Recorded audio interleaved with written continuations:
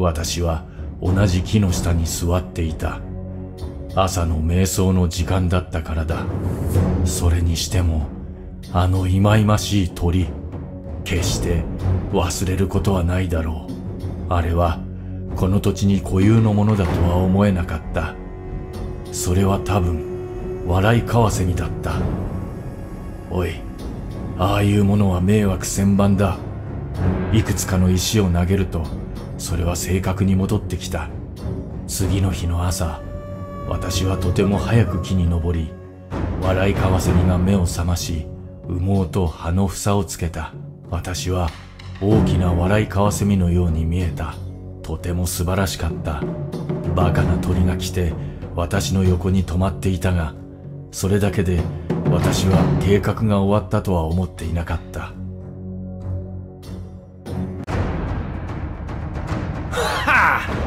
笑いカワセミは事故ではなかった。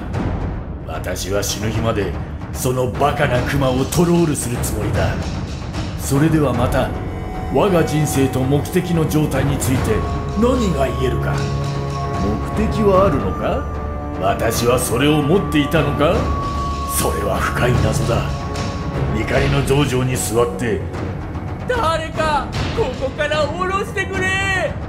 解決できないと思うそれは自ら呼ぶもの。私はそれを何と呼ぶべきかと思った。慣れなければならないと思う。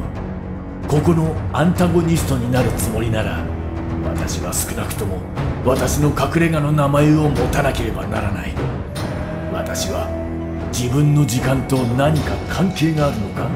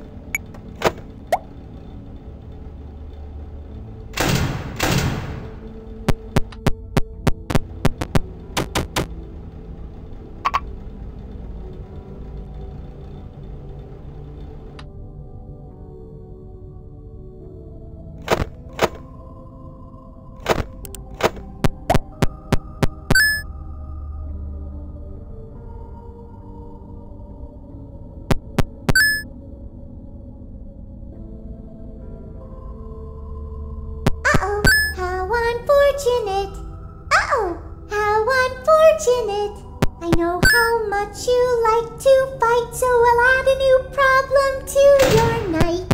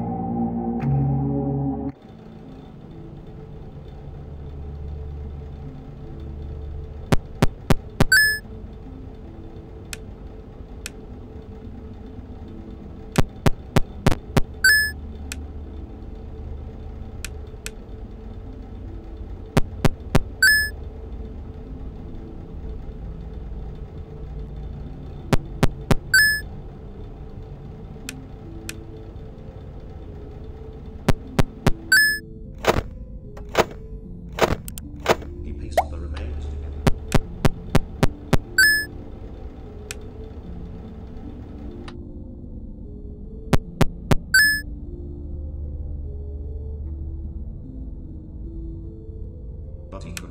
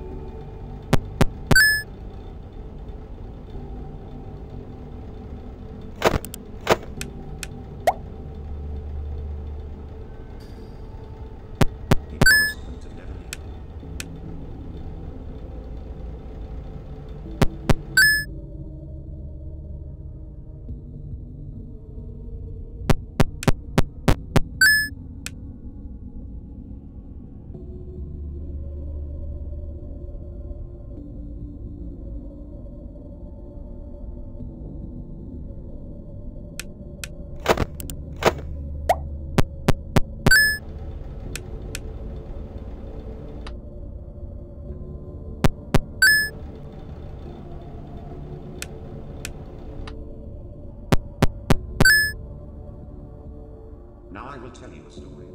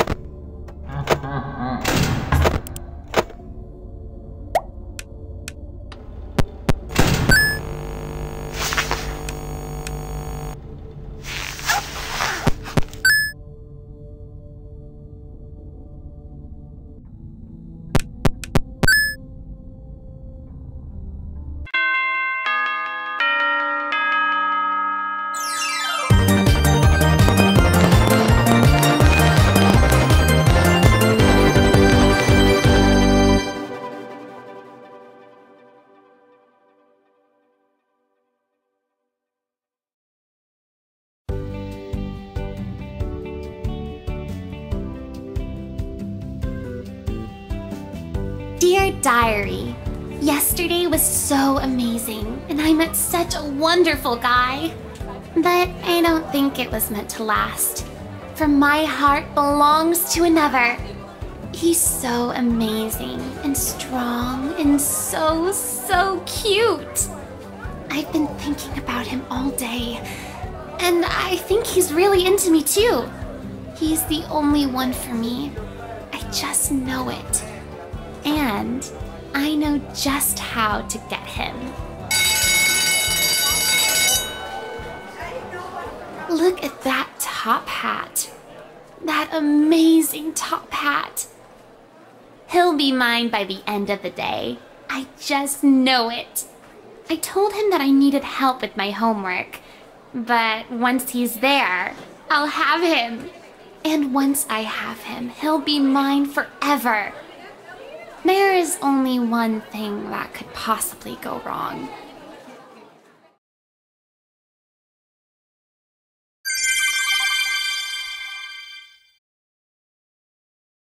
If you guys like this video, leave a comment, subscribe, and leave a like. And that's all. So, bye.